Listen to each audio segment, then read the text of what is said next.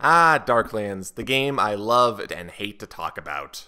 I've really struggled to trying to figure out how this video should work, so I'm just going to keep it as very brief as possible. For those who just need a recap on what Darklands is, it's basically a giant mixture of all of these systems and games, featured with a variety of problems, from an over-bloated rulebook, overly descriptive rules with subtitles upon subtitles, various repeats of words, and various sections that should not be repeated. The not so great formatting, and honestly just a load of other problems that you can you can watch the first two videos about because that actually gives some support and I don't have to repeat myself.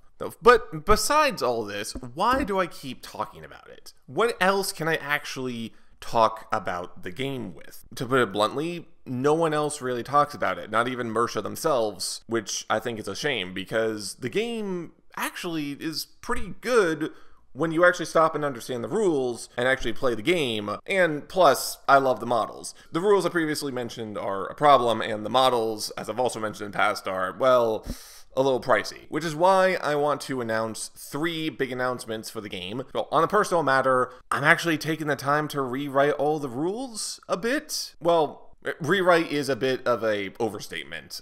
I'm more trying to reword the rules so they're easier for people to understand. Kind of taking the philosophy of Warhammer 10th edition right now of simplifying but not simple. There is still a lot of tactical depth in this game that you can definitely have. I just think people need to actually be able to understand the rules. I mean, I showed my friend the rules beforehand and good lord his his face started melting and besides this has also been a project i've been working on since first edition and if you also watched my video on second edition, which again, you should watch. Not really much has changed and it hasn't really affected my progress. You know, I also think it would just be a good thing to like try to continue giving Mersha as much support.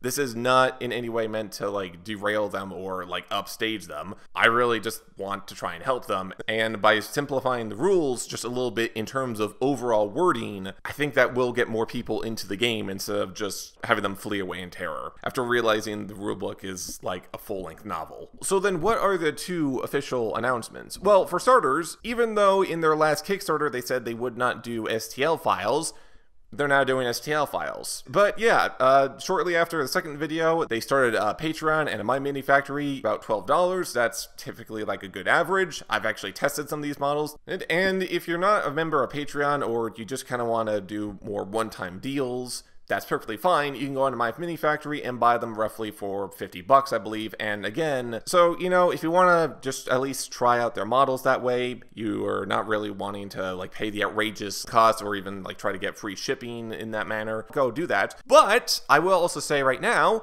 if you do want to go that method, guess what? There's now a giant summer sale going on. It's just been extended. I really have been trying to like get this out there. Again, I love the miniatures. You don't even need to buy this stuff for Darkland. Browse their range, see for something that you want to play for like your next hero, RPG, whatever. Just go do it. I really want to give Mersha as much support as I can because quite honestly, someone on the internet needs to. So go, buy, go now. Now.